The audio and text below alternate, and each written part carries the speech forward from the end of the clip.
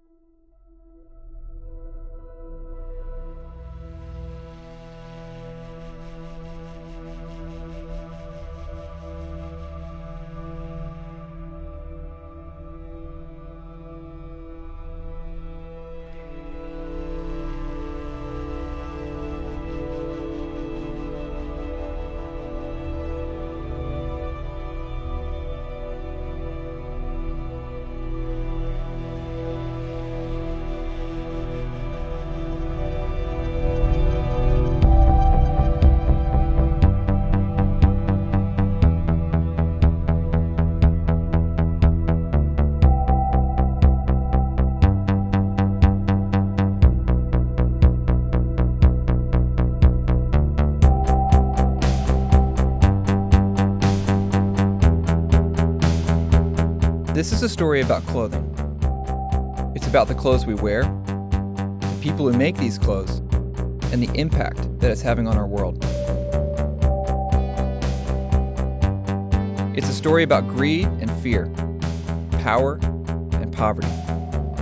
It's complex as it extends all the way around the world, but it's also simple, revealing just how connected we are to the many hearts and hands behind our clothes.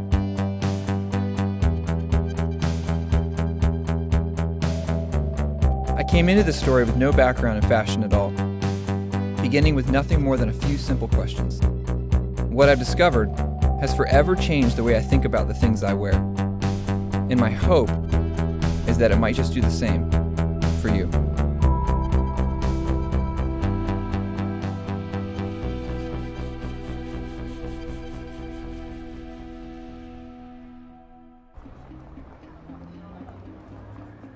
just start and, and say your name and talk about how this kind of began. My name is Lucy Siegle. I am a journalist and broadcaster based in the UK, and I have been obsessed, consumed with the environmental and social impacts of the fashion industry for about a decade. Well, I love everything about clothes. You know, I love I love the poetry, I love the fabric, I love the colors, I love the textures, I love the way that they make you feel. You know, they are our chosen skin. Well, I had the classic massive closet, clothes everywhere, bags constantly coming into my house, you know, every day, every other day with some other item in, and never had anything to wear. I could never put together a coherent outfit. We communicate who we are to a certain extent through clothing, and this is this is again throughout history. You know, you have the trends at court. You know, again Marie Antoinette making these huge hats. It's always been it's our personal communication in many ways. That's what interests me. That it is fundamentally a part of what um, we wish to communicate about ourselves.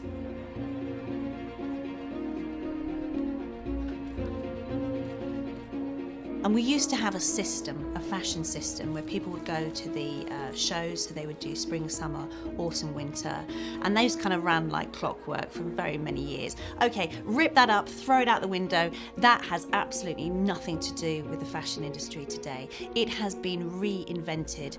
The shift is moving ruthlessly um, towards a way of producing which only really looks after big business interest. Growing up, I never gave much thought to anything other than the price of the clothes that I bought, usually making choices based on the style or a good deal. Looking back, I learned that for a long time, most of our clothing was actually made right here in America. As recently as the 1960s, we were still making 95% of our clothes. Today, we only make about 3%, and the other 97% is outsourced to developing countries around the world.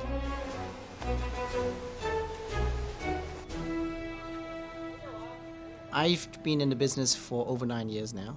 In terms of scale, we got about 25,000 people just on garment manufacturing side. We produce one in six dresses sold in the US. If you actually go to a store and you benchmark the price of a, a garment over the last 20 years, you will find that it's actually a deflationary product, i.e. the price has gone down over time. Now, has our cost gone down? Absolutely not, okay? The cost has gone up. The more production we've outsourced, the cheaper prices have become on the clothing we buy, making way for a whole new model known as fast fashion, almost overnight transforming the way clothing is bought and sold. The newest H&M store on Fifth Avenue in Manhattan is the company's largest ever and just one of many new stores it's planning around the country. It's all part of a high street revolution, fast fashion. Instead of two seasons a year, we practically have 52 seasons a year. So we have something new coming in every week. And fast fashion has created this so that it can essentially shift more product.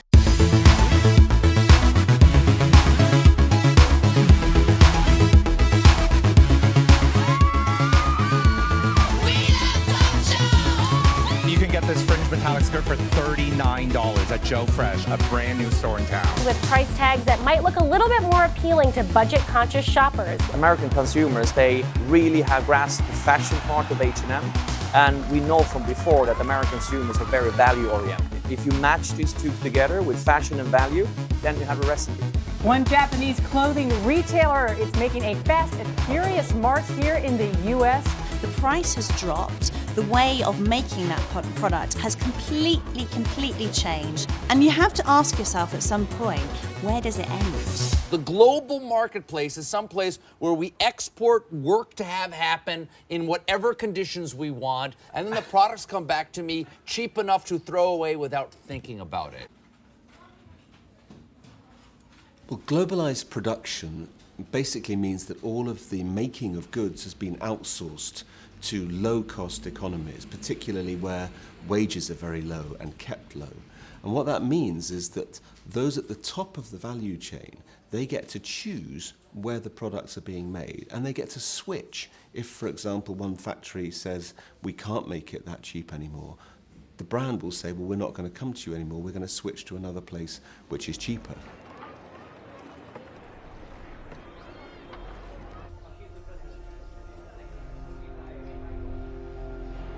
In the West, they are using everyday low price. So every day they're hampering me and I'm hampering my workers. This is how it is. They are competing. The stores are competing in there. When the stores are coming to us for an order and negotiating, they're telling, look, that particular store is selling this shirt with like five dollars, so I needed to sell it in the four dollar. So you better squeeze your price. So we are squeezing. Then other store is coming and selling, hey, they're selling it the four dollar, so the target price is three. If you can meet the three, you are getting business. Otherwise, you are not getting. Because we want that business so badly, and we don't have other options. Okay, every time we are trying to okay survive actually. Ultimately, something's going to give. Either the price of the product has to go up, or manufacturers have to shut down, or cut corners to make it work. Cutting corners and disregarding safety measures had become an accepted part of doing business in this new model. Until an early morning in April, when an event just outside of Dhaka, Bangladesh, brought a hidden side of fashion to front page news. Well, state media in Bangladesh say an eight story building has collapsed near the capital of Dhaka, killing more than 70 people.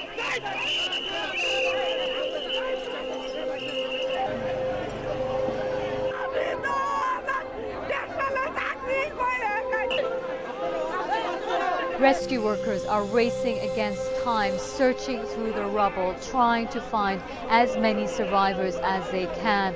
Hundreds are dead. Hundreds more might still be buried alive after officials in Bangladesh say factory owners ignored an order to evacuate. Some 400 dead, hundreds still believed to be missing Garment workers in Bangladesh paying the price for cheap clothing. A huge crowd has gathered near the building site, many of them family members looking for loved ones, and they say they can still hear people screaming from underneath the rubble, crying out for help. Many are simply losing hope. Building ভাঙা পড়ার আমি যে জায়গায় ছিলাম আমি আবার সিঁড়ির সামনে চলে গেছি দৌড় পাই আর অমনি পড়ে গেছি। পড়ে যাওয়ার লগে লগে আমার দুই পায়ে চাপা পড়ছে। এই সাইডে যে ওয়ালগুলো আছে না ওয়ালে ওয়ালে চাপা পড়ছে। ওই চাপা আর তো পাও, আমি দেখতেছি কি, টান দিয়েও কোনো অবস্থা করে আনতে পারব না। তো আমি টানাটানি করি নাই। এমনি এখন মাথার মধ্যে কত চিন্তা, কত রকম মনে কথা আসতেছে। কামতেও পারতেছি না আমি। Anybody who like me, had written about problems in the supply chain, particularly for fast fashion, and tried to articulate how the risk was being carried by those who are most vulnerable and the worst paid. You tried to articulate that, but you could never have envisaged that there would be such a catastrophic illustration of what you were trying to say. And Rana Plaza, to me, was like some horror story. Two weeks after the catastrophe, and the death toll now stands at a staggering 931, making it the worst garment industry disaster in history. I think one of the, the, the most profoundly impressing things about the Rana Plaza disaster was that news that the workers had already pointed out to the management the cracks in the building. They, they'd already pointed out that the building was structurally unsafe, and yet they'd been forced back in. Many survivors are asking how they could have been forced to return to work when management already was aware of the cracks in the building and workers' concerns on the very day of the collapse. A lot of clothes in American stores are made in Bangladesh by workers who earn about $2 a day. Last month, there, a garment factory collapsed, killing more than 1,000. And a few months before that, a factory fire killed more than 100. And as bodies are still being pulled out of the rubble, another factory in Bangladesh caught fire early this morning, killing eight more people. As story after story of clothing factory disasters kept filling the news, it was now the case that three of the four worst tragedies in the history of fashion had all happened in the last year. As the death toll rose, so did the profits generated. The year following the disaster at Rana Plaza was the industry's most profitable of all time. The global fashion industry is now an almost $3 trillion annual industry. Bangladesh is now the second largest apparel exporter after China. How? Well, unlike some of its competitors, Bangladeshi manufacturing remains dirt cheap, and unions have limited power the country cornered the absolute bottom of the value chain. Those 1,000 poor girls lost their life because everybody didn't bother, didn't give damn shit, and they just wanted the cheap price and a good profit. It shouldn't be like that. Everybody should take the responsibility for those kids.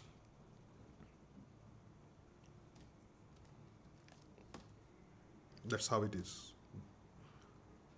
it might coming coming more. Sorry, but uh, yeah, you know that it's not only the price pressure; it is something ignoring other people's life. Is it's, it's, it's, it's not it should, it should it, it's not right.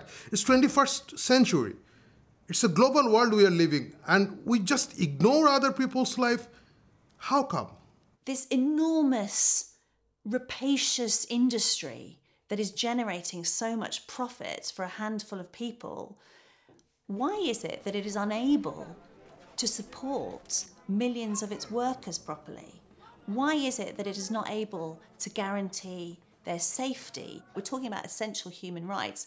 Why is it unable to guarantee that whilst generating these tremendous profits? Is it because it doesn't work properly? That is my question. Lucy's question sounds like the obvious one, but instead of answering it, Everywhere I looked, I found people who were constantly justifying the cost because of the economic benefits being generated. So, this low wage manufacturing or so called sweatshops, they're not just the least bad option workers have today, they're part of the very process that raises living standards and leads to higher wages and better working conditions over time. Your proximate causes of development are physical capital, technology, and human capital or skills of the workers. When sweatshops come to these countries, they bring all three of those to these workers and start getting that process going. Is it possible that sweatshops are actually good? Yes, horrible, awful sweatshops. The word itself, sweatshop, it evokes terrible images of poor people and children suffering in third world countries, slaving away in awful conditions to make products for us selfish Americans. Thank you. What? Does it does it bother me that people are working in a factory making clothes for Americans or for you know Europeans or that they're that's how they're spending their lives? Or is that what you're kind of asking me? Um, yeah, sure. Um, no, I mean you know they're doing a job Uh, there are a lot worse things that they can be doing. It is live television, and I will ask you define sweatshops. Yeah, I think we have to be very clear what we're talking about from the outset. So we're talking about places with very poor working conditions as us normal Americans would experience it, very low wages by our standard, maybe children working places that might not obey local labor laws. But there's a key characteristics of the type of ones I want to talk to you about tonight, Kennedy, and that's that they're places where people choose to work, admittedly from a bad set of other options. Well, I mean, there's nothing intrinsically dangerous with sewing clothes. So, so we're kind of starting out with, you know, with a, a relatively safe industry. It's not like coal mining or natural gas mining or, you know, a lot of things that you can, that are much more dangerous. So sweatshops jobs look like horrible working conditions and wages to anybody in the West who's wealthy enough to own a TV and watch your video. But we have to keep in mind that the alternatives available for these workers aren't our own alternatives. They're much worse than our alternatives, and they're usually much worse than the factory job that the worker has. Low wages, unsafe conditions, and factory disasters are all excused because of the needed jobs they create for people with no alternatives. This story has become the narrative, used to explain the way the fashion industry now operates all over the world. But there are those who believe that there must be a better way of making and selling clothing that does generate economic growth, but without taking such an enormous toll. So we don't know yet um, how long this embroidery is taking. Do you think you could ask Chantu just, just roughly how long that whole panel is taking? Because I guess we'll see it later on in the FOB price breakdown, but it would be great to know, wouldn't it? So I'm Safia Minney. I'm founder and CEO of People Tree. And uh, People Tree is a fair trade fashion brand that started over 20 years ago in Japan. You were worried that we had a bit too much navy. What, what are you feeling now? Because we did put more black into SS14, and that has worked really, really Mm. well with um, Orla, Yeah. Orla's um, designer collaboration. Have we got enough black print in the collection? Uh, well, we've lost that abstract dust print, this one Mm, here, mm, mm, in the mm, mm. black. But I think this pink will be really. I think it's one of those prints that everyone's a bit nervous of, but actually will do Mm. well. I think most fashion brands start with a, a concept of a collection or a look. Um, they don't tend to think, uh, you know, who is going to make the product and um, how can I ensure that producers or, or suppliers um, are going to eat. Um, so what we're what we're trying to do at People Tree is really start with uh, the skills that we have at each producer group, and then design the collection up, whilst also looking at the integrity of the collection in its aesthetic. I worked originally with freelance designers and uh, went into Bangladesh, Zimbabwe, India, Nepal, the Philippines. And bit by bit, we put together, you know, an amazing network of like-minded fair trade organizations that put women's development, you know, the workers, social development and environment absolutely central to everything they do.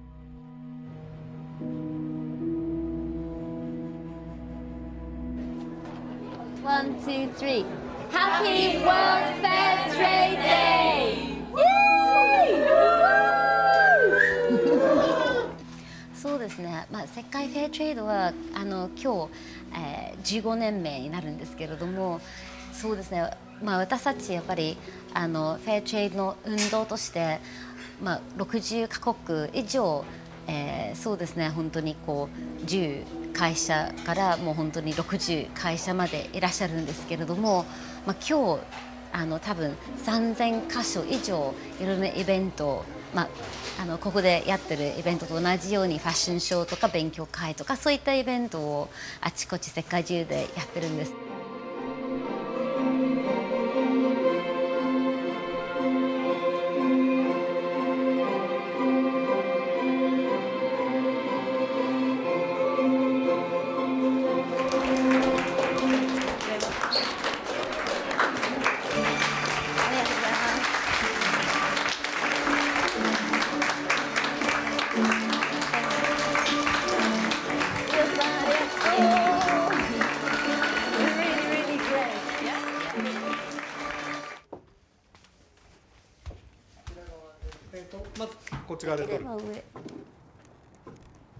体もう少し私の方に向いてもらえますか足ももっと That's beautiful. Fair trade is a citizen's response to correcting the social injustice in an international trading system that is largely dysfunctional, where uh, workers and farmers are not paid um, a living wage uh, and where the environment is, is not considered at all to make the products that we buy every day.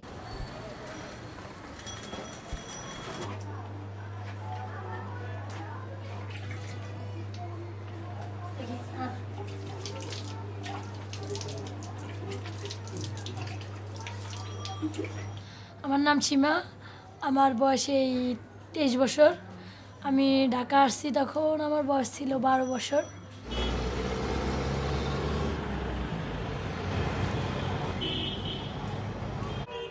Shima is one of about 40 million garment factory workers in the world.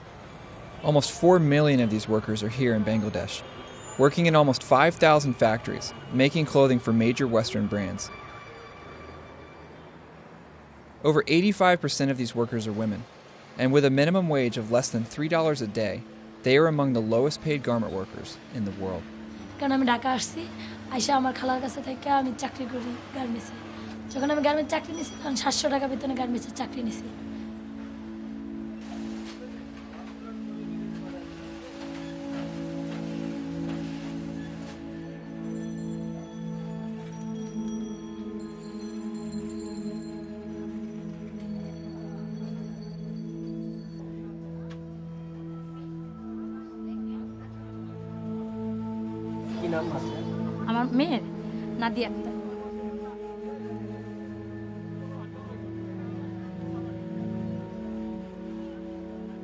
প্রায় পনেরো দিন আমি অফিসে নিয়ে গেছি, কিন্তু অফিসে প্রচণ্ড গরম। আর ওই কাজের ভিতরে তো মনে করেন ই মিলানো, ওই মেডিসিন মিলানো, ওগুলো বাচ্চাদের মুখে গেলে অনেক ক্ষতি হয়ে যায়। বিষয় হলে যে আমি ঢাকা নিয়ে রাখতে পারতাছি না, আমার রাখার মানুষ নাই।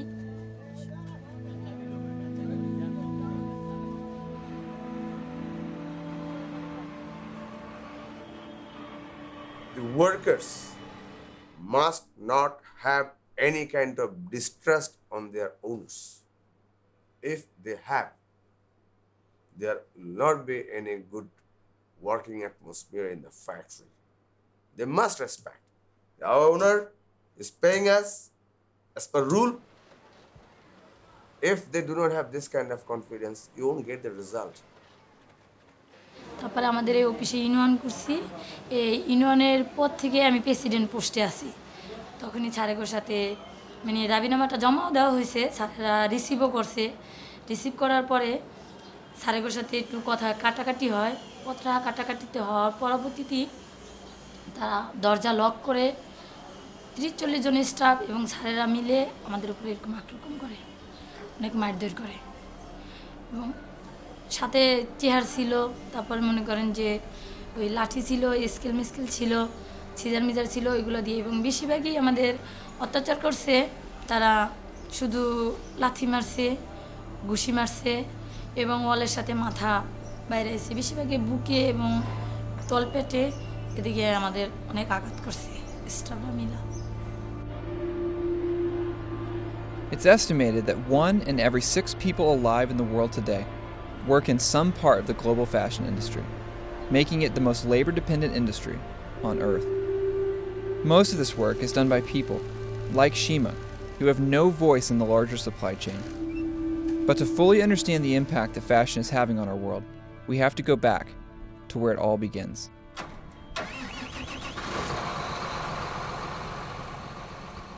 My grandparents settled out here in the 20s. And so this is a part of my heritage. People ask why I'm an organic cotton farmer. It's because I don't know any better. My granddaddy was an old German farmer that felt like we should respect the land, we're stewards of the land, and we respect the life that's in the land.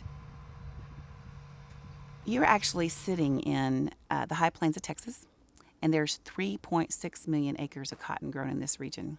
We're literally the biggest cotton patch in the world. In just the past 10 years, 80% of that is now GMO, genetically modified cotton. Most of it is uh, Roundup ready, meaning that instead of the farmers spot spraying weeds occasionally in their field or hiring laborers to walk the field and eliminate the weeds, now they're spraying whole fields. Cotton produces the fiber that's responsible for most of the clothing worn by the world today. And as our appetite for fashion grows, the cotton plant itself is being re engineered to keep up. There's been this big drive towards the industrialization of agriculture, the intensification of agriculture. So instead of the old forms of farming, which were very much in tune with nature, they were, they were linked to the cycles of the natural year and the seasons, what you see now is an intensification where the land is almost reconsidered as if it was a factory. What you've created is this general practice of we treat millions of acres the same we put a dose of chemical on it all, and that's when you get these big ecological effects that nobody has a grasp of what's really happening. Nature tends to heal itself in small pockets. But when you get this big, broad approach, we really don't know what's going on. For us, it's not reducing the amount of pesticides and chemicals that are going on the cotton. That's one of the big sales. It reduces that. Not in our area where we are spraying millions and millions of acres and dollars of Roundup across the entire South Plains. What kind of impact is that having on our soil with residual residuals that are left at the microbacterial level? What kind of impact is that having on the people in our communities? Where's the cost on that? Monsanto is proud to be the industry leader in agricultural innovation because of what these agricultural advancements can do to help you double yields for the future needs of the world. We're dedicated to the future of agriculture and providing farmers with innovations that help them produce more and conserve more while improving the lives of people around the world. Together, we can face the challenges of the next generation and beyond.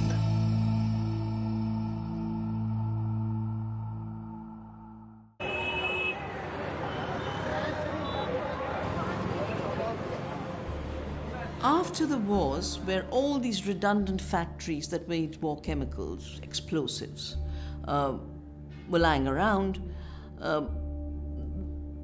the Western countries thought that it would be a good idea to market them to the third world. After all, the same industry that makes explosives makes nitrogen fertilizers. And they started to push nitrogen fertilizers from the 50s onwards, after we became independent. But the nitrogen fertilizers don't do very well with native crops. There's a problem of lodging. So the whole system then organized itself to redesign the plant in order to take on more chemicals. Bt cotton is a cotton in which a gene has been added from a bacteria to produce a toxin. But the Bt cotton, which is supposed to control a pest, has been offered because it's a way for companies to own the seed. By patenting these genetically modified plants, Monsanto has become the largest seed and chemical corporation in history. I wanted to speak with someone who had worked with the company, and I got word that a former managing director for India was willing to talk. One of my close friends who was in the research division working on these modified crops, he came to my hotel for a drink. We were sitting and having a drink, and after a few drinks, he told me, hey Jack, we're going to change the type of business you're doing in India. I said, what do you mean? We are going to get into seeds business. And we are going to make the seed business on all crops so that we have the monopoly on seeds. And every farmer has to come to us to buy seeds every time. That rang a bell in my mind. If a poor farmer is to go to Monsanto to buy seeds every time, and such expensive seeds, at the time there's no idea of BT at all for me. Genetically modified seed was not in my mind. Even seed monopoly is something very bad. So farmers get into debt when they get the seed because of the high cost, 17,000% more. They get into deeper debt because it doesn't deliver on the promise of controlling pests, so they have to buy more pesticides.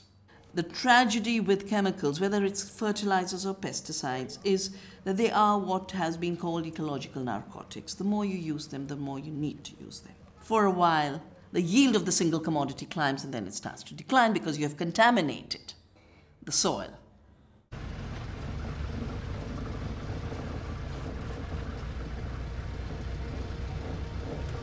Most of India's cotton is grown in the Punjab region, which has quickly become the largest user of pesticides in India. Dr. Pritpal Singh has been studying the effects of these chemicals on human health, and his reports show a dramatic rise in the number of birth defects, cancers, and mental illness here in the region. You can go in every village, you will see that uh, hundreds of patients are suffering with uh, cancers. 70 to 80, 80, 80 kids in every village will find them uh, uh, facing the severe mental retardation and physical handicap.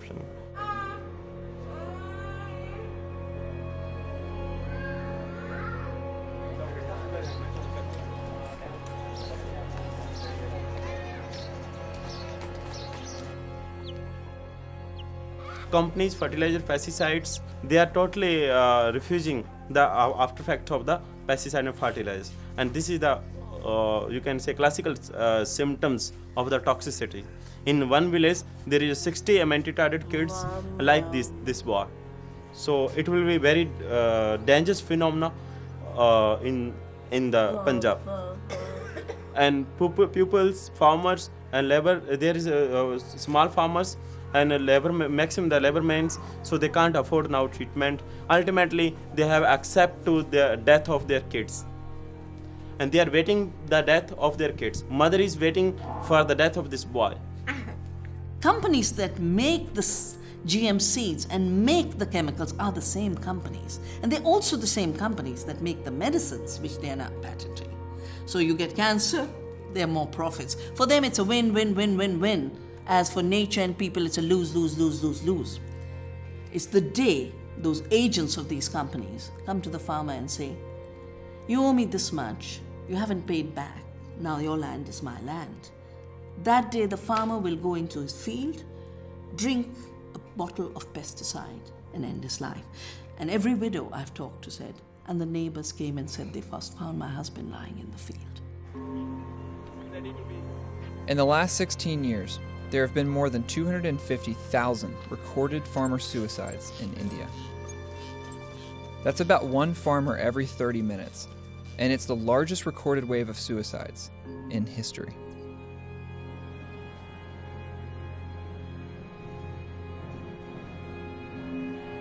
As it becomes clear just how much of an impact fashion is having on our world, there is an increasing amount of research to suggest that it's also having a growing effect on us the people buying these clothes.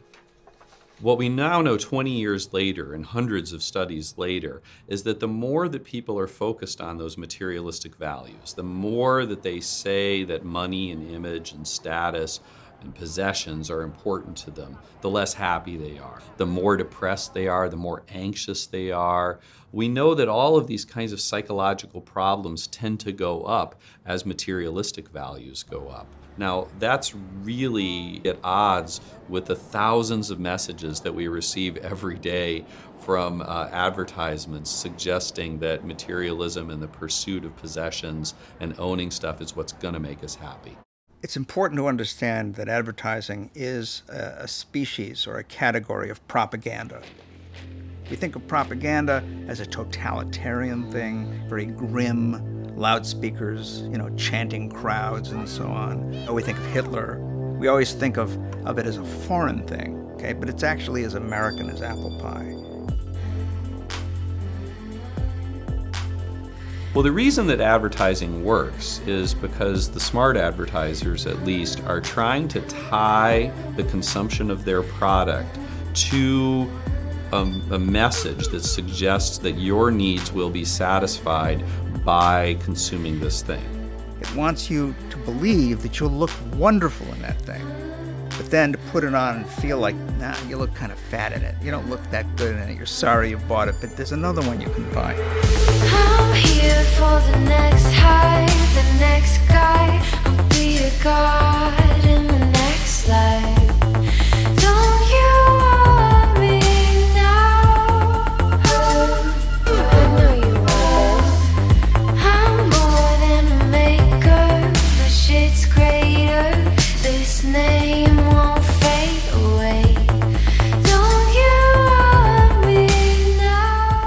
Think of all of the car commercials you see that show, um, well, I've really made it now. I'm a competent person because I'm driving this BMW or this Audi. Or think of all the shampoo commercials you've seen where the person now has beautiful flowing hair and is loved and appreciated by the people around them. The basic message is the same. The way to solve the problems of your life, we all have problems in our life, the way to solve the problem in your life is through consumption. Hey you guys! Today I'm coming to you guys with a clothing haul. I went shopping a couple days ago and literally went insane and bought so many things. My, my spam bots, I don't know, whereas literally blown up by you guys saying you guys wanted a haul. So, here it is. Okie dokie, so first off, I have some things that I got from H&M. So then I went to Forever 21. It wasn't even a question, it was just like fate. I just had to get it. Like if it could levitate towards me, it would have levitated. I got this skirt, bright yellow, and it was 850. It's a jean button-up thing. And I just loved this. I just loved it, loved it, loved it. It's a gray knit sweater and it has pink hearts all over it. I lived, I love tie-dye things. Like tie-dye things are literally the bomb.net. It has a little yin yang sign on the front of it. I just love these so much. And it's just this really pretty light blue sweater. I don't even know if I'm gonna wear this now that I got it because I don't know if I like it that much. I need to stop.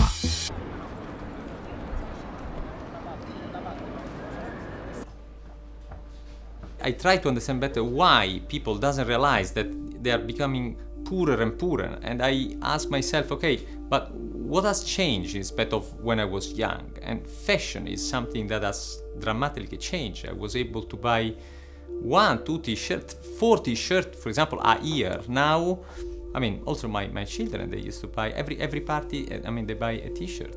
And so I understood that the fast fashion is something totally new. If you have noticed the price has decreased in the last years and it has followed the middle class disappearing. So all the things that people really need are very costs are very costly, like uh, home, like study, like uh, life insurance. Uh, on the other side, there is a source of consolation um, part of their life. I can uh, uh, buy a t-shirt, two t-shirts a party or eventually a day, although I'm very poor and I've got lost, I've lost all the things I really needed.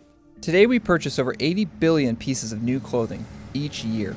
That's 400% more than the amount we bought just two decades ago. The way we buy clothes has changed so much, so fast, that few people have actually stepped back to understand the origin of this new model or the consequence of such an unprecedented increase in consumption. There's um, an article in Printers' Ink, uh, which is the leading advertising trade journal of, of, of its day, uh, by a very famous copywriter named Ernest Elmo Calkins, a grand old man of, of uh, the art of writing advertising copy. It was an article called Consumptionism. In that article, he says there are, there are two kinds of products. Okay, there are the kind that you use, like washing machines, cars, and so on. Things that you buy and use for a long time. And then there are the things that you use up, like chewing gum and cigarettes, other perishables. He said uh, consumptionism is all about getting people to treat the things they use as the things they use up. With their innovative buy one, get three free pricing, a suit from Joseph A. Bank is effectively cheaper than paper towels. And now they come in these easy to use dispensers. With four suits for the price of a modest dinner, I can feel good about throwing them away when I'm done. You just have to look at landfill and you can see in landfill that the amount of clothes and textiles being chucked away has been increasing steadily over the last 10 years um, as the sort of dirty shadow of the fast fashion industry. As we get sort of closer and closer to species degradation, to uh, trashing our last remaining pristine wilderness, we seem hell bent on producing more and more disposable stuff. It makes no sense. Fashion should never and can never be thought of as a disposable product. I think after any big change in any industry, it takes a while to sort of to feel and smell the dirt that comes out of something um, that is that is polluting. So I think now there is a change because you can't deny that the fast fashion industry is having a massive impact in developing countries. The average American throws away 82 pounds of textile waste each year, adding up to more than 11 million tons of textile waste from the US alone. Most of this waste is non biodegradable, meaning it sits in landfills for 200 years or more while releasing harmful gases into the air. The sheer amount of cheap clothing, even though people feel perhaps somehow um, that they're offsetting by giving to charity. You know, the journey of a t shirt donated to charity is unpalatable in itself. Pepe, um, it is a disease in Haiti. And not only in Haiti, I think like, you know, in any third world country that you're visiting, like, you know, it's a problem. It's a huge problem. Pepe, a bunch of clothes, most of them came from the States. People will go and buy a box full of clothes. They don't even know what they're buying. Those are clothes people donate to charity, and charity cannot sell them on their thrift store or whatever. They pack them, ship them to those third country, and most of them end up here. Turns out that only about 10% of the clothes that we donate actually get sold in local thrift stores. And as we're going through our clothing faster and faster, now more of it is being dumped into developing countries like Haiti. As the amount of secondhand clothing coming into Haiti has increased, the local clothing industry here has disappeared. Once a proud local tailoring sector, Haiti now produces mostly cheap t shirts for export to America. Paske otrefwa le wap tra, travay, ou te konwe yon moun ki vin apren. Yon moun te kapab vin apren, vin di, bon wap montre m fè koutye.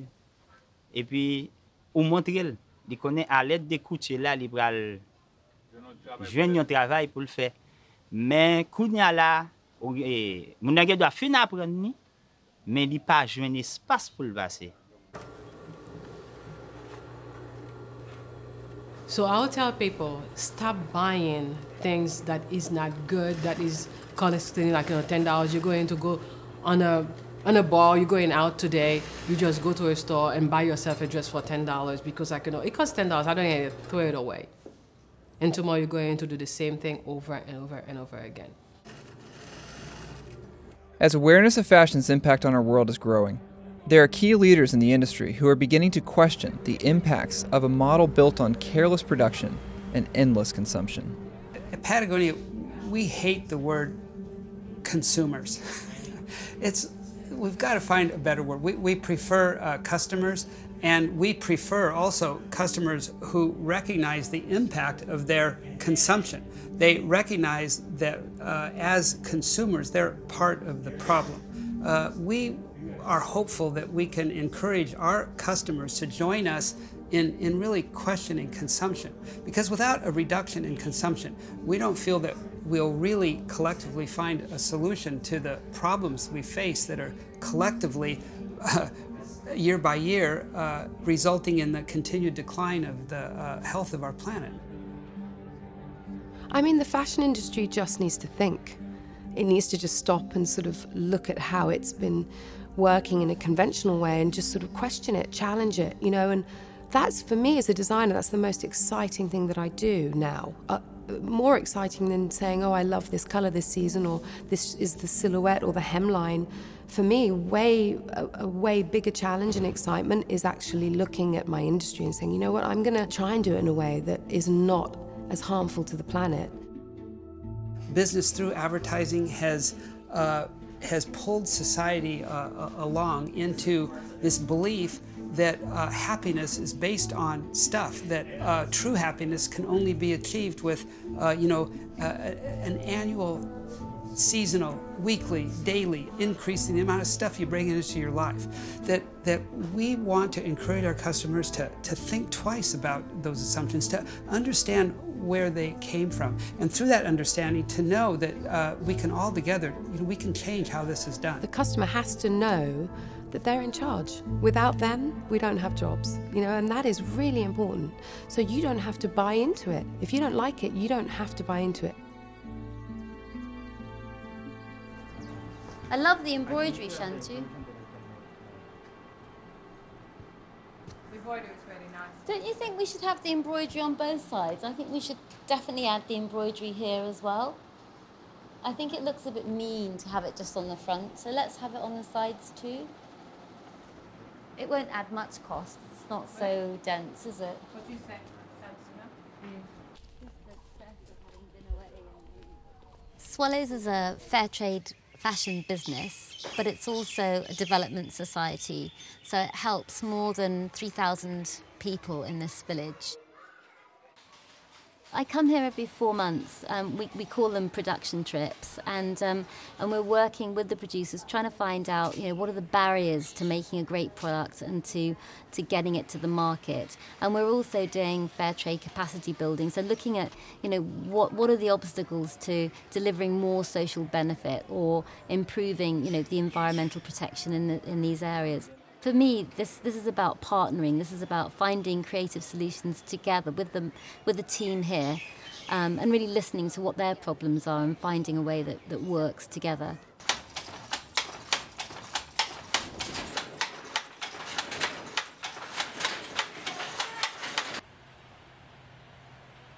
I want to invite um, the best employee here at Swallows. I want to invite one women, one female representative from Swallows to come to London in autumn or next spring. And I would like you to think who would be that best representative. But I want you to know who your customers are and I want you to really understand the marketplace and come back and tell all your friends.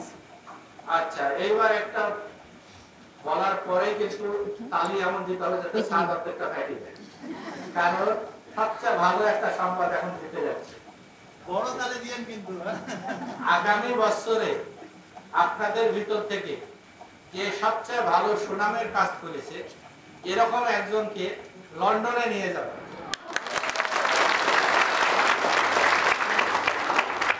Either if she does it single thread, single stitch, then maybe she needs to do more densely, Okay. more concentrated. এটা কি এই gap আর একাটা আছে এখানে কোনো হ্যাঁ, জায়গাতে? আছে, আচ্ছা এইটা করতে হবে এখানে কি সিঙ্গেল নেওয়া হয়েছে একবারই করে হয়েছে এই সিঙ্গেল দিয়ে দুইবার করে এখানে দেখাতে তো So um, when, if she if she continues for a bit, we're going to go up to the sample room now for SS15. Yeah. Can she come and show us the next Yeah, one yeah. that she does? Yeah.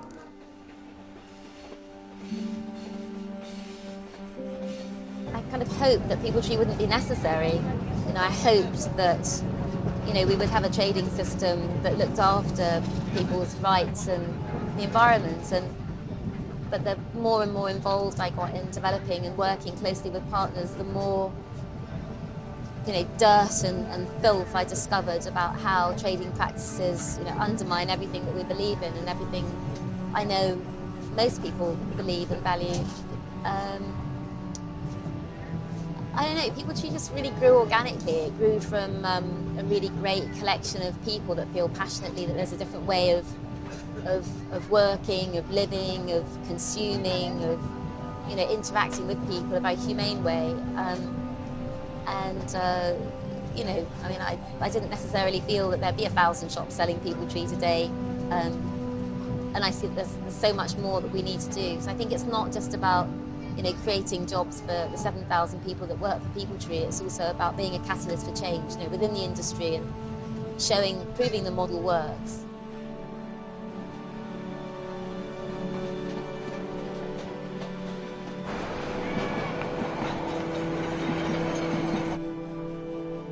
Yeah, when we were first went organic, I think there was only two or three of us at the time. And we formed the Texas Organic Cotton Marketing Cooperative.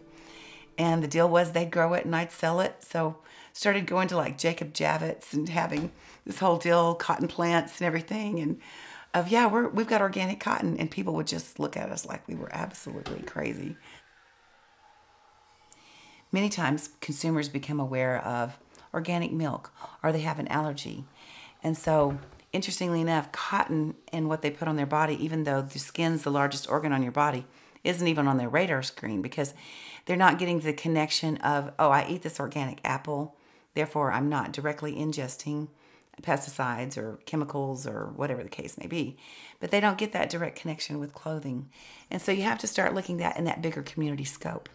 That it is about our air, it's about our world, it's about our planet, it's about our people. And so it is that awareness of you may not feel that you're having the direct impact by buying this organic shirt, but the impact you're having is in the bigger picture in the world at large, and especially in the community where the cotton's grown.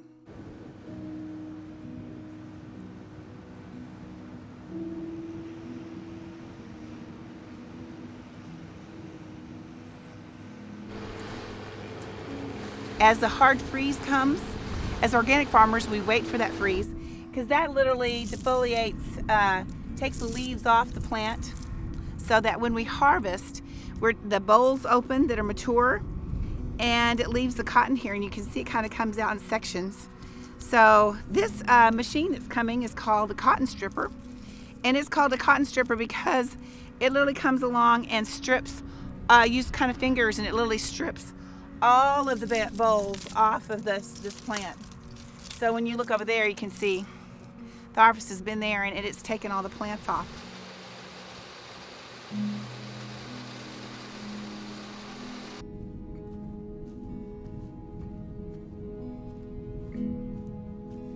I think one of the problems that we have in the current model is it's all about the profit. And it doesn't take into consideration at co- this cost at what cost? The cost of polluting the water, the cost of labor, the cost of bars on the window that people die when a fire breaks out in the factory, the cost of farmers that don't have access to education and health care. And so we haven't really factored in what the true cost is.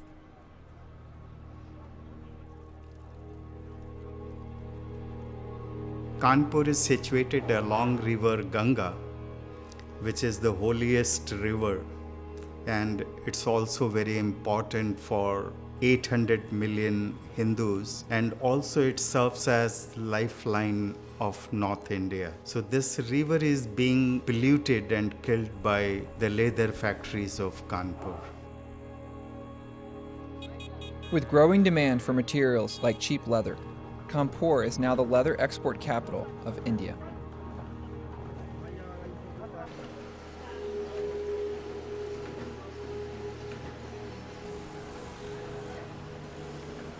Every day here, more than 50 million liters of toxic wastewater pour out of the local tanneries.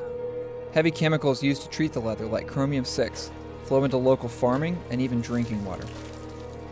In places like Kanpur, far from the eyes of the world, major Western brands are able to source cheap materials while avoiding all accountability for the growing cost to human health and the environment.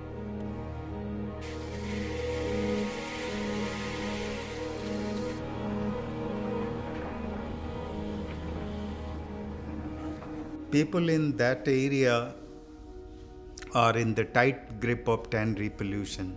The local environment is contaminated, soil is contaminated, the only drinking water source, groundwater, is contaminated with chromium. Agricultural produce, even vegetables and uh, salad items are uh, produced there.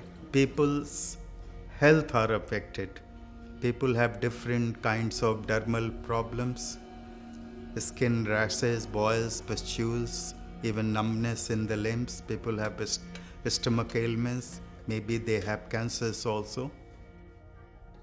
हमारी बेटी को jaundice नाम की बीमारी हुई है और ये प्रतिवर्ष यहाँ पे हमारे जो है, इनको भी पिछले वर्ष हमारी वाइफ को भी हुआ था इस पूरे इलाके में जितना भी हमेशा एक मतलब एक घर छोड़ के दूसरे घर में मतलब अक्सर जो है दर्जनों लोग जो है हर गाँव में बीमार होते हैं जॉइंडिस से, वो उनका बहुत पैसा खर्च हो जाता है।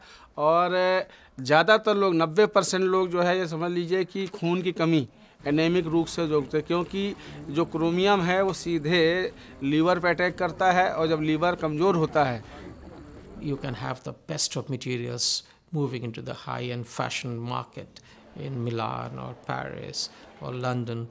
But there has been so much of work which has gone behind it. And so much of chemicals has gone into it and the effluents have been discharged into so many rivers.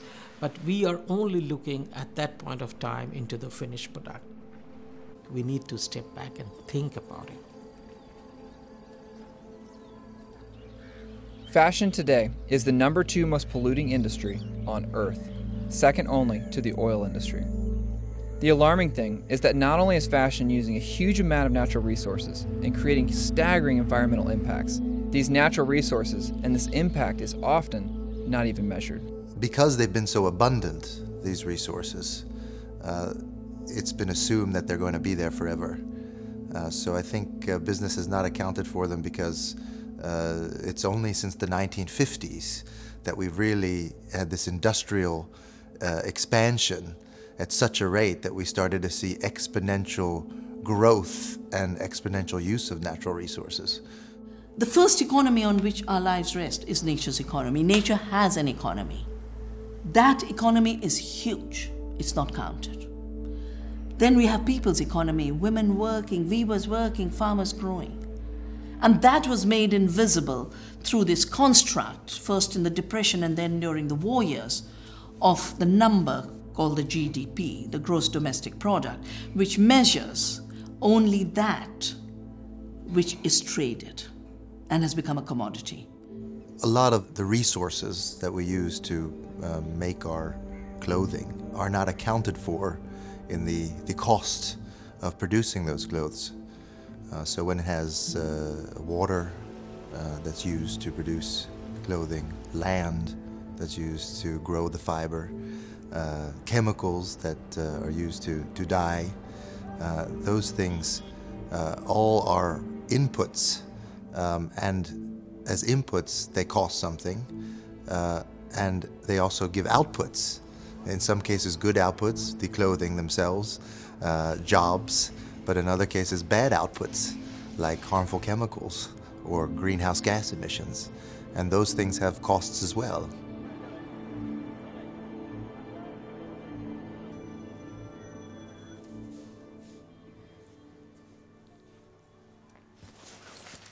আমার ভালো শিশু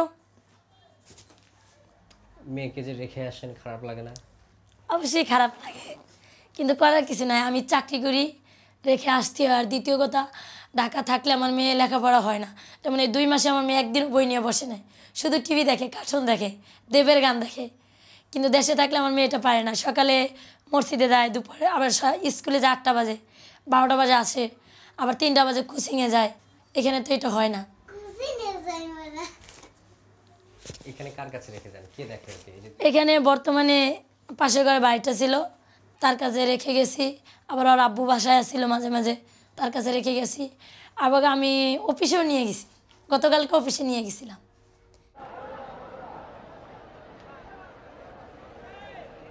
The same low wages that have made places like Bangladesh so attractive for brands to do business have left millions of workers here working incredibly long hours, unable to afford to keep their children with them, even in the city's worst slums. In order to give their children an education and the chance of a better future than life in the factories, many garment workers here, like Shima, are leaving their children to be raised by family or friends in villages outside the city, only getting to see them once or twice a year.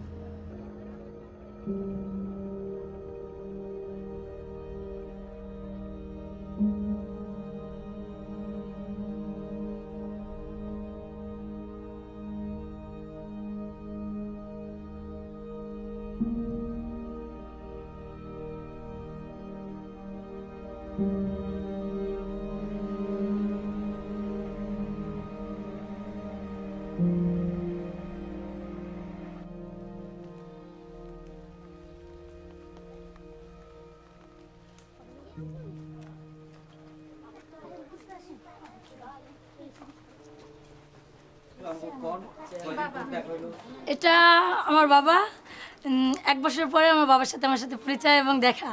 তাছাড়া হয়তো মোবাইলে একটু যোগাযোগ হয়, কিন্তু দেখতেও না। আজকে এক বছর পরে দেখলাম। এটা আমার আম্মা। হ্যাঁ এক বছর পর আম্মার সাথে পরিচয়। মানে মোবাইলে কথা হয় আমার সাথে, তো দেখি না।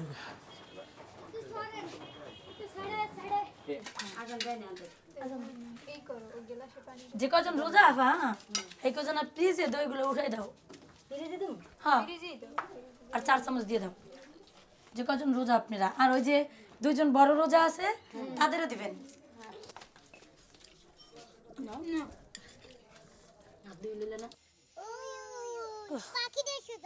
পাখিটা সোজা দেয় না। হ্যাঁ। কোন জায়গায়? এদিকে না? না এদিকে। আমাদের বাংলাদেশের শ্রমিক তো কষ্টের আর শেষ নাই। যেমন আমরা এই যে সকালে উঠি রান্না করি অফিসে যাই সারা দিন পরিশ্রম করি এবং সারাদিন আমাদের পরিশ্রম দিয়েই আমরা ওটা তৈরি করি এবং ওটাই তারা বাইরে যখন যায় তখন তারা পড়ে।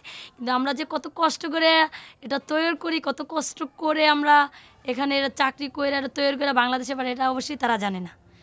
তারা শুধু পায় আর পরে কিন্তু এটা আমি মনে করি যে আমাদের রক্ত দিয়ে এটা তৈরি হয়। যেহেতু দেখা যায় অনেক অনেক সময় দেখা যায় গার্মেন্টসে চাকরি করতে যায়, অনেক মেয়েগো জীবনও যায়। যেমন আমাদের এই কিছুদিন এক বছর আগে রানা প্লাজার ঘোষা পড়ছে, আমাদের প্রচণ্ড শ্রমিক মারা গেছে। তাই আমি মনে করি এটা আমাদের অনেক কষ্টের পরিশ্রম। আমরা চাই না যে আমি চাই না যে বাইরের লোকেও এরকম আমাদের রক্তের জিনিস তারা ব্যবহার করে। আমরা চাই যেন আমরা আর একটু গার্মেন্টসে উন্নত মালিক যেন আর একটু সতর্ক হয়। যেমন রানা প্লাজার ঘোষা পড়ছে, আমি চাই না যে রানা প্লাজারের মালিকের মতন আর অন্য অন্য মালিক এরকম রিস্ক নিয়ে এবং এরকম বিল্ডিংয়ে ওয়ার্কারদের নিয়ে কাজ করে এবং আরও এরকম শ্রমিক মারা যায়, আরও অনেক মায়ের কোল খালি হয়। আমি এটা কোনোদিনও চাই না। আমি চাই আমাদের আর একটু মালিক সতর্ক হোক এটাই যেন আমাদের একটু দেখে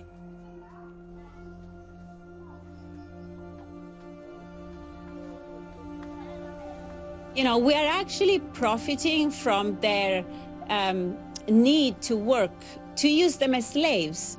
And I'm not saying that we don't, you know, we need to give them work, but it has, they have to be treated with the same respect that we treat our children, our friends. They're not different from us. Livia Firth has been calling for major change in the fashion industry. She made headlines by starting something called the Green Carpet Challenge, urging celebrities and top designers to take part in more mindful forms of fashion. She runs a sustainability consulting firm called EcoAge and had just been invited to speak at a conference on the future of fashion. If fast fashion didn't exist, we wouldn't need to have a summit in Copenhagen to try and clean the mess of environmental destruction, social justice destruction that it has been caused in the last 15 to 20 years of its existence.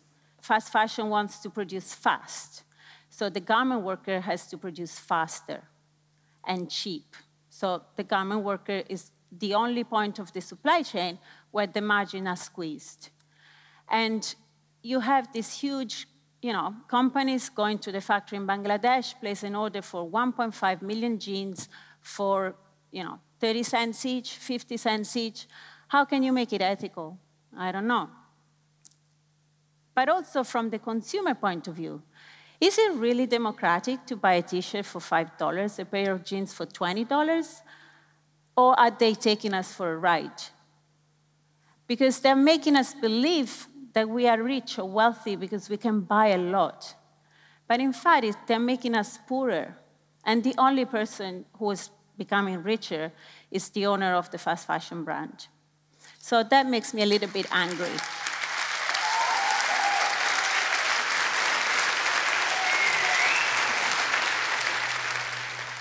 You spoke about a commitment to try and, and promise a basic living wage.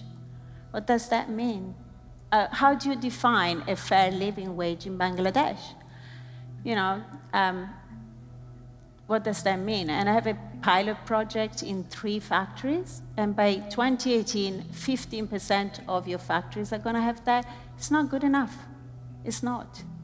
It's very clear for us that what a living wage is, is something that the workers should say. And that's incorporated. That's incorporated in our way of working. How much is Uh, it? and that's not for us to say a sum, but we do an assessment all the time How much uh, is to make sure that it covers the basic needs of the workers. So it's, I, I can show you that later on. H&M has mastered the model of fast fashion, becoming the second largest clothing corporation in history, with annual revenue of more than $18 billion. They are now one of the largest producers of clothing in both Bangladesh and Cambodia. Sadly, along with every other major retailer I asked, they declined all interview requests for this film.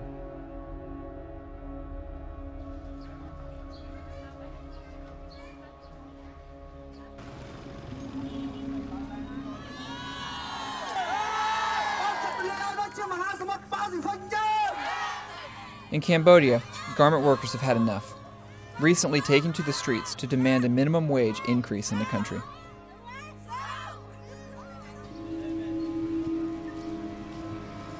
As protests continued, workers were met with violent crackdowns as police began to open fire with live rounds.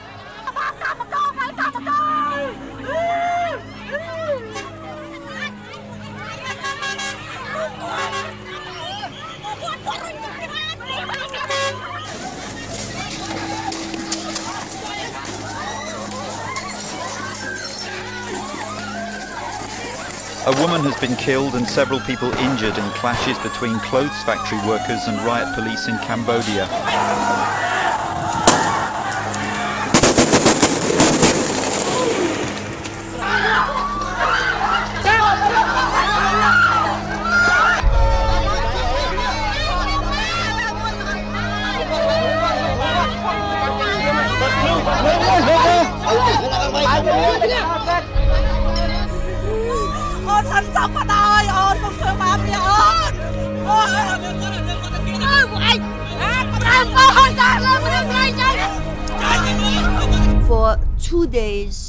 Cambodia was a battleground. The city of Phnom Penh. The police, the paratroopers were brought in as if uh, there were war on the street of Phnom Penh. Why? Because workers in the textile industry continue to demand a minimum wage of at least $160. បណ្ដាលឲ្យពួកយើងទាំងអស់គ្នាត្រូវបានស្លាប់ចំនួន5នាក់ ហើយនឹងជាប់ឃុំឃុំខ្លួននឹង23នាក់ហើយនឹងអ្នករងរបួសនោះវាមាន40នាក់ជាងអញ្ចឹងយើងឃើញថាអាការទៀមទារបស់យើងគ្រាន់តែហូបមកគ្រប់ពេលប៉ុន្តែយើងឃើញថាទៀតធៀបពិតរដ្ឋាភិបាលមិនចង់ឲ្យយើងហូបគ្រប់ពេលហើយនឹងរស់នៅដោយថ្លៃថ្នូរបានទេពីព្រោះកម្មករទៀមទាយើងទៀមទាតែរស់នៅដោយសមរម្យនិងថ្លៃថ្នូរប៉ុន្តែធៀបពិតរដ្ឋាភិបាលមិនបានយកចិត្តទុកដាក់នឹងកម្មករទេ Today is the uh, funeral of uh, a factory worker. He was beaten to death. He had uh, suffered a lot before his death uh, this morning. And he had done nothing wrong. He, among his uh, fellow workers, wanted to have uh, better living conditions.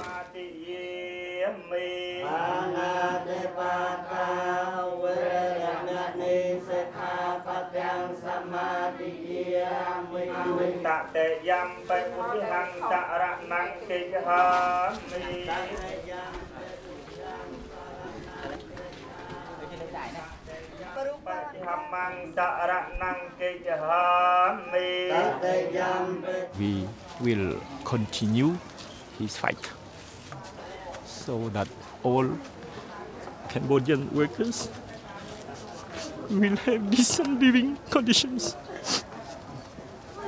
Thank you, sir.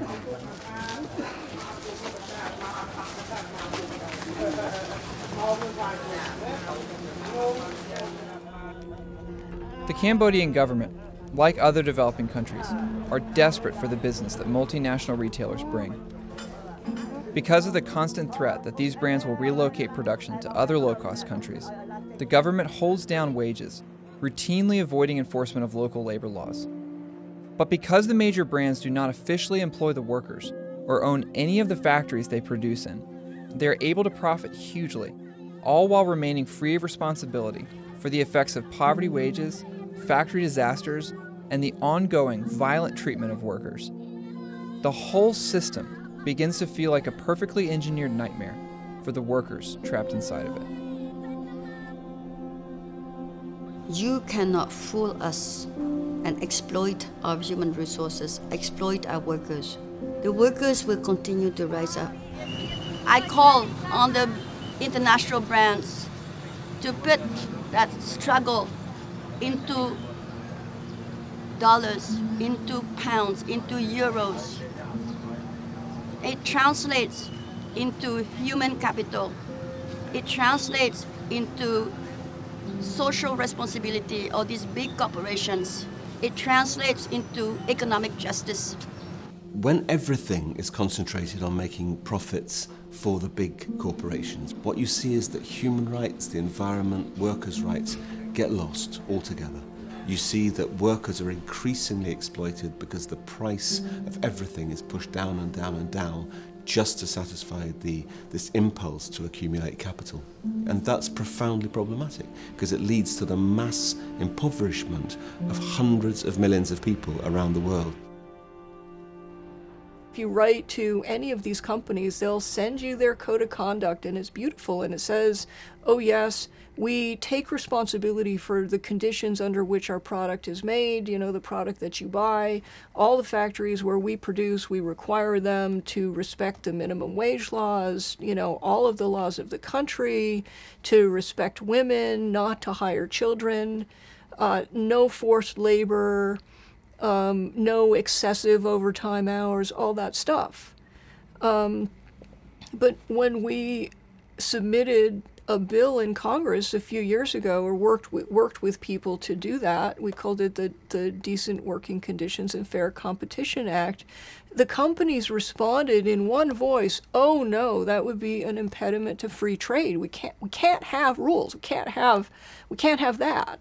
They want to keep it with voluntary codes of conduct.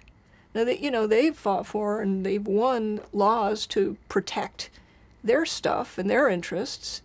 But, you know, what about the workers? The workers are left with voluntary codes of conduct. And what we see in case after case after case is that those voluntary codes of conduct are not worth the paper that they're written on. We need to acknowledge, particularly in the fashion industry, that human capital is part of this miraculous formula. Without human capital, without cheap labour, cheap female labour, it would not be generating the profits that it is. That needs to be acknowledged, it needs to be dealt with, and those people need to be rewarded instead of exploited. Where is their piece of the pie? That's what we constantly have to ask ourselves. Are those buyers immoral, or do they just don't, or are they amoral? The system they're working for, and the system that allows companies to do this, is amoral. The individuals concerned are simply products of that system and having to drive it through to its logical conclusion. What we need to do is change the way those companies operate. Operating within a system that only measures profit, companies have little incentive to do anything other than to make this quarter better than the last, no matter what damage is caused along the way. As corporations that make up the global fashion industry, major brands as well as seed and chemical companies are growing today to reach unprecedented global size and power. This mandate for profit at all cost is beginning to stand in direct opposition to the values that we share. Richard Wolff is an economist who, after graduating from Harvard, Stanford, and Yale, became convinced that the real problem is within this system itself. So, America became a peculiar country. You could criticize the education system to make the schools better. You could criticize the transportation system to make that work better. You could crit- but you couldn't criticize the economic system. That got a free pass. You couldn't criticize just you know, and if you don't criticize something for 50 years, it rots. It goes to seed. But one of the ways a healthy society works is it subjects its component systems to criticism so that we can debate it and hopefully fix it or improve it or do better. Capitalism couldn't be questioned. Capitalism is the reason the fashion industry looks as it does today. It's the reason why workers in Bangladesh are paid so little because if you're operating in a capitalist system, the main thing you have to do is create profit and you have to create more profit than your competitors. And this is what drives companies to push wages down and down and down. Like they don't like companies don't go like fashion retailers don't go to places like Bangladesh for any other reason except they can get the cheapest labour possible. Like there's no um, collective rights in Bangladesh, there's no trade union rights, there's a very, very low minimum wage, there's no like maternity benefits, there's no pensions. That is why the fashion industry is in Bangladesh because it can reap the biggest profits out of those people that are, that are making the clothes for them. Before you can solve a problem, you have to admit you got one. And before we're going to fix an economic system that's working this way and producing such tensions and inequalities and strains on our community, we have to face the real scope of the problem we have, and that's with the system as a whole. And at the very least, we have to open up a national debate about it. And at the most, I think we have to think long and hard about alternative systems that might work better. For the environment, the great threat is that capital must continue to expand infinitely in order to survive it, it can't have any limits on its expansion and its growth. The natural world clearly does have limits. There are very defined limits to how much the world can sustain in terms of production, in terms of trade, in terms of transport and distribution.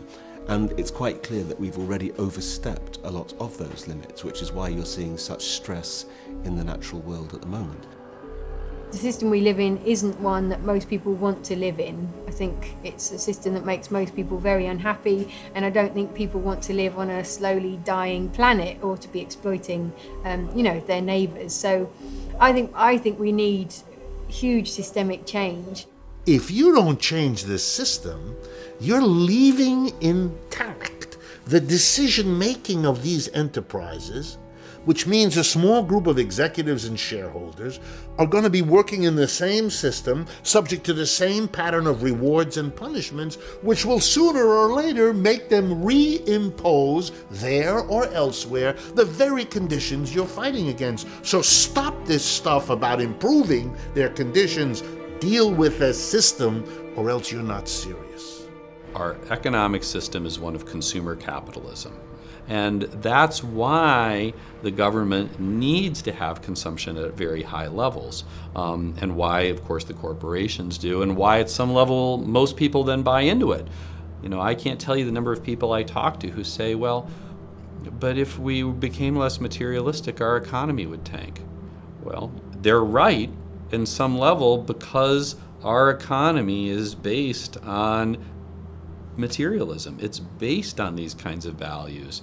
That's what it needs in order to survive. That's part of the fuel that it needs. The problem is that comes at a really high price. Friday's here. Can we go, please? Go, go, go, go, go. Shop, shop, shop, shop. Black Friday shopping mania is still playing out tonight at malls across America. In some places across this country tonight, it's as if someone announced we're in danger of running out of stuff, and those who need stuff had better go out and buy it now because it's going away forever. Walmart doing more than 10 million transactions in the first four hours of the frenzy. A record 15,000 people at Macy's in New York City. Shoppers hung tough. Black Friday will be the single largest day of the retail year. Certainly, in the case of Macy's, we'll do more business on this day uh, than on any other uh, day of the year. Nation, this orgy of Christmas shopping proves America is back. We are once again, yes. We are once again spending money we don't have on things we don't need to give to people we don't like. Yeah, USA, USA, USA, USA.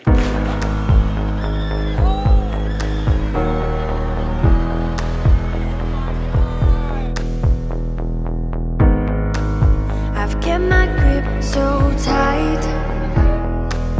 I won't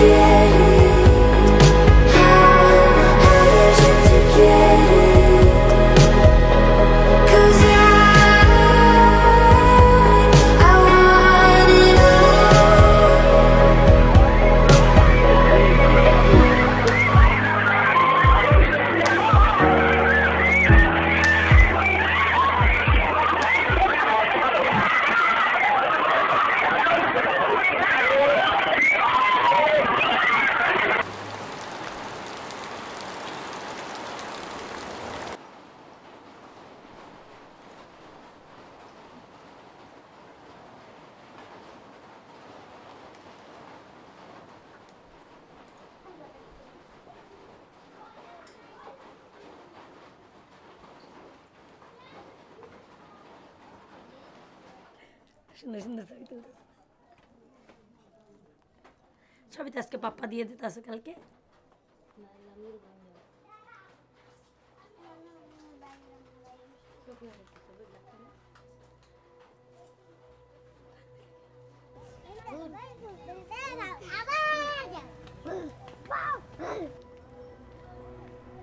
তার থেকে বেশি ভালোবাসা আমার মা আপারা মানে যারাই আছে ফ্যামিলিতে দেয় কিন্তু তখন তারপরও একটা জিনিস ভাবে কষ্ট লাগে যে যে যত ভালোবাসা দিক মানে বাবা মার মতন ভালোবাসা তো কেউই দিতে পারে না। ওই জিনিসটা ভাবে অনেক কষ্ট লাগে।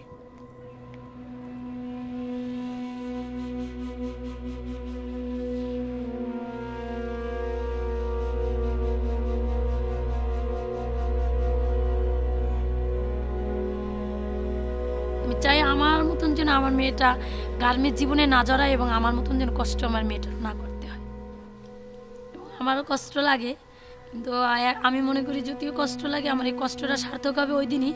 যেদিন আমার মেয়েটা আমি লেখাপড়া করে মানুষ করতে পারব, মানুষের মতো মানুষ করতে পারব। মানুষে গ্রামের মানুষে বলব যে, না, সীমা যদি ঢাকা থেকে গার্মেন্টসের চাকরিও করছে, তাও আর মেয়েটাও হয় টাকা পয়সা খরচ করে লেখাপড়া করাইছে এবং মানুষের মতো মানুষ করে তুলছে এবং যে কোনো একটা ভালো সরকারি চাকরি যদি নিতে পারে কি ভালো একটা ছেলের সাথে যদি বড় হলে আমি বিয়ের সাথে দিতে পারি তখন মানুষ আমারে ভালো বলবে এবং নিজের কাছেও আমার গর্ব মনে হবে যে আমি কষ্ট করলাম আমার মেয়েটার কষ্ট করতে দিনে আমার মেয়েটাকে আমি মানুষের মতো মানুষ করে তুলছি।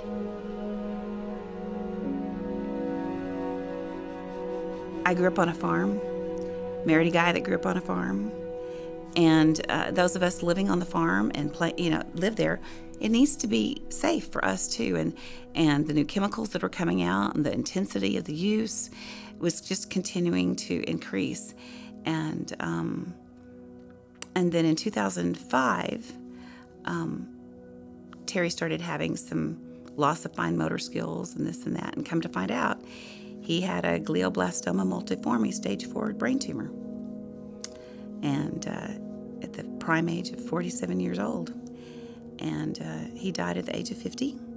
They gave us six months. We had two and a half years, and the brain surgeon uh, that worked on him, we've you know Lubbock is got a huge cancer clinics and uh, a hub, medical hub. Uh, we didn't have to go someplace else to have a brain tumor surgery. We were able to stay right here because he does so many of them. He said that these kind of tumors are found in men age 45 to 65 that work in the agricultural industry or the oil field. And so while I don't have a smoking gun and the blood tests that say the use of uh, cotton chemicals and agricultural chemicals directly led to my husband's death, there's just too many linkages with his father's death. Growing up on a chemically intensive farm, we live in the middle of 3.6 million acres of, of cotton that use a lot of chemicals. And so at that point in time, organic is, was no longer important to me. It was imperative. It's imperative that we change agriculture. It's imperative if we're talking about the long term sustainability and well being of our lives on this planet and our children's lives on the planet that we have to change.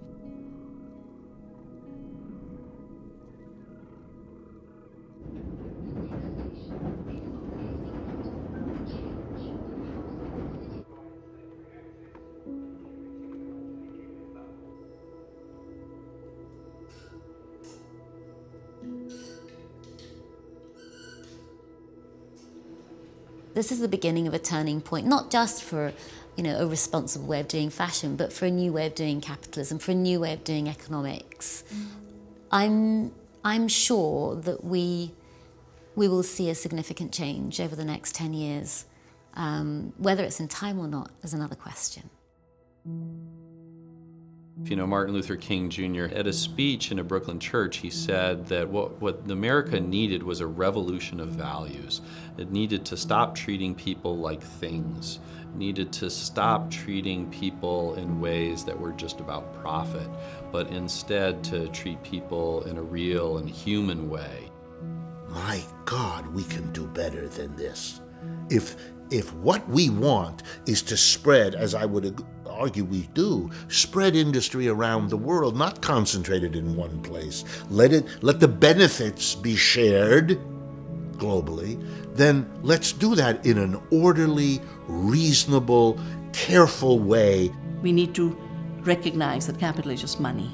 Money is a means, and people should be accountable for how it's used. We need to celebrate the creative power of human beings, and we need to talk of creative work. We must stop talking about labor. We need to look at the land as not a commodity to be speculated on and traded, but as the very basis of our life as Mother Earth. If you change all consumers into activists, all consumers asking ethical questions, all consumers asking quite simple questions about where their clothes are from, all consumers saying, I'm sorry, it's not acceptable for someone to die in the course of a working day. We can't just roll over and say, yes, have it, do what you like. It's too important, it's too significant an industry, it has too much impact and effect on millions of people worldwide and common resources.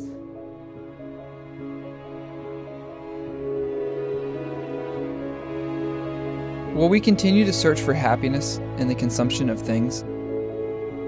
Will we be satisfied with a system that makes us feel rich while leaving our world so desperately poor?